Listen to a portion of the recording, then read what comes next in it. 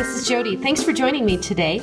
I want to show you how to make this birthday card with this technique here. Some people call it a starburst or a sunburst technique. It's paper piecing to get this effect down here, and I want to show you a quick and easy way to do that. First of all, I took four patterns of the designer paper from the package called Eastern Elegance. Each of these four pieces is one and a half by four inches. So what I'm going to do is take my paper trimmer and you can see there's a groove right here. That's where the blade actually cuts and I'm going to line up opposite corners right in that groove. So my opposite corners are lined up in the groove and I'll carefully set that down and just cut. So I'll do that for each of these four rectangles. Now you don't have to choose four patterns. You can have any number of patterns um, you want to. I just chose four for this project. And then cutting them into triangles will of course give me eight pieces.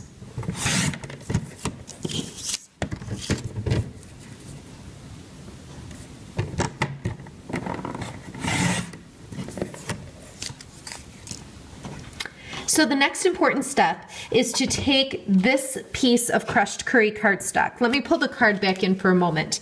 When you look at the card, you're not going to notice this piece of cardstock. This is the secret to making this work so easily.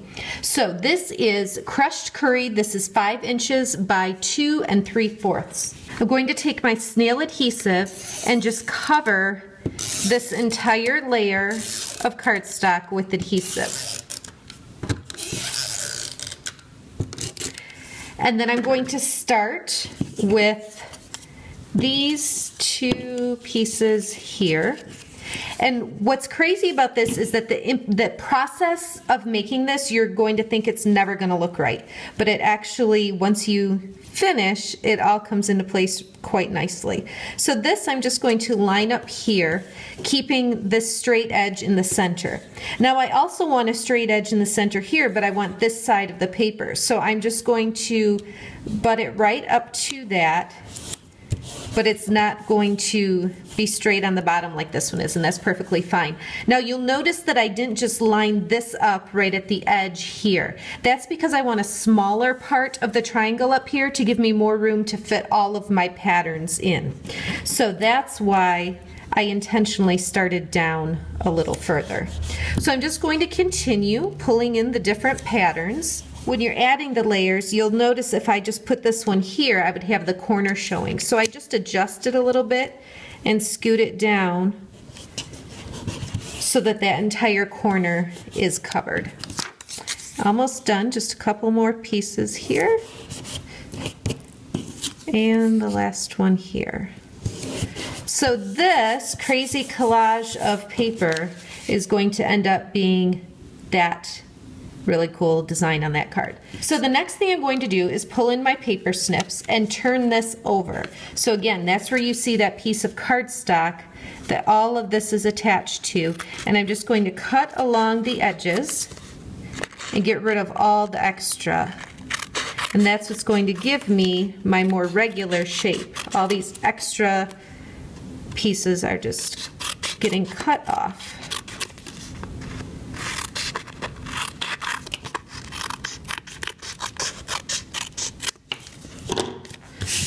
Those out of the way. So now I've got this.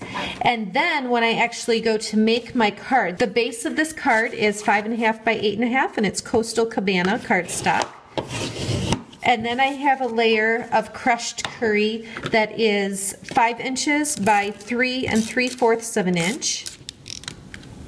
And that gets added next.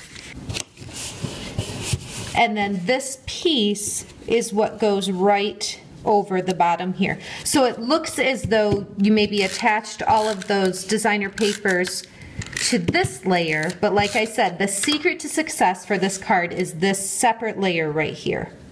And so that will just go on right on top. And then all you would need to do to wrap it up is add the ruffled ribbon and your greeting in the center. Thanks so much for watching. For daily creative inspiration, visit my blog or find me on Facebook at Jodi Reinert Stamps.